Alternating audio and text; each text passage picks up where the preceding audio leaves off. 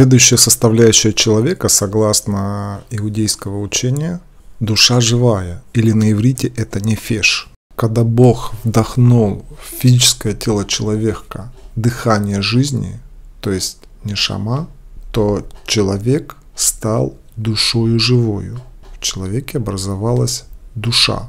Этот текст говорит о сотворении первого человека, как в нем образовалась душа. Но возникает вопрос, а как образуются души последующих людей, которые рождаются в этот мир?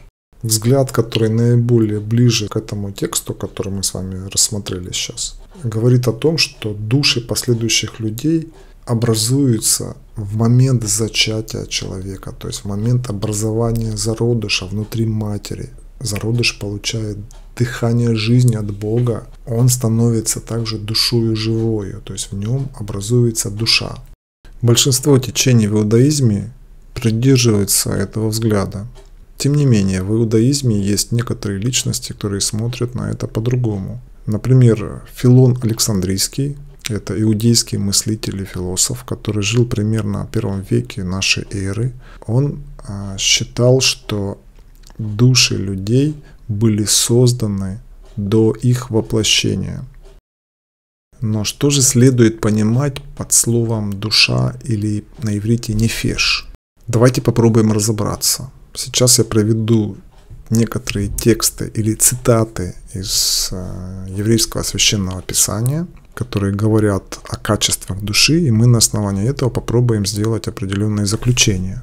Синим цветом я написал надписи которые указывают главу, стих и название книги из еврейского священного писания, где находится цитата, которую я привел сюда. Я тексты разделил и сгруппировал в двух категориях. То есть я разделил по признакам, которые указывают на какие-то качества или проявления души.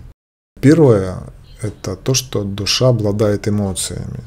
На это указывают те тексты, в которых написано проявление души. Например, вот душа изнемогает, изнемогла во мне душа моя. Страдает, душа испытывает страдания, душа скорбит, душа огорчена. И прилепилась душа его к Дине. Возникла любовь, э, влечение. Душа испытывает любовь и влечение. Далее следуют тексты, которые указывают на то, что душа обладает качествами характера. Душа может согрешать, может быть нерадивой, надменной. Душа имеет желание. Чего желает душа твоя? Я сделал для тебя, говорит текст. Твердо помнит эта душа. То есть душа обладает памятью. Может хвалиться Господом и уповать, то есть надеяться на Него. Все эти признаки, которые мы сейчас перечислили, указывают на то, что нефеш является личностью человека, который обладает качествами характера, чувствами и эмоциями. Проявляет таким образом себя в этом физическом мире через физическое тело человека. Но возникает вопрос, что происходит с нефеш, душой человека, после физической смерти человека.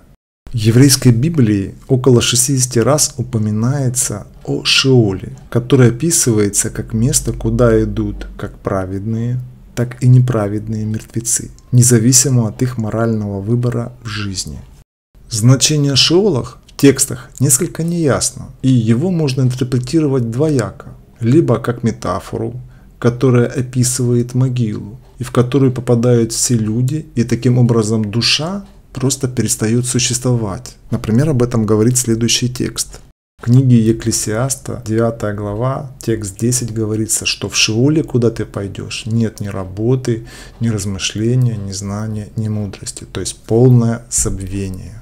Либо под Шиолом можно понимать как царство мертвых, в которые попадают души умерших и ведут загробную жизнь. Например, об этом говорит следующий текст.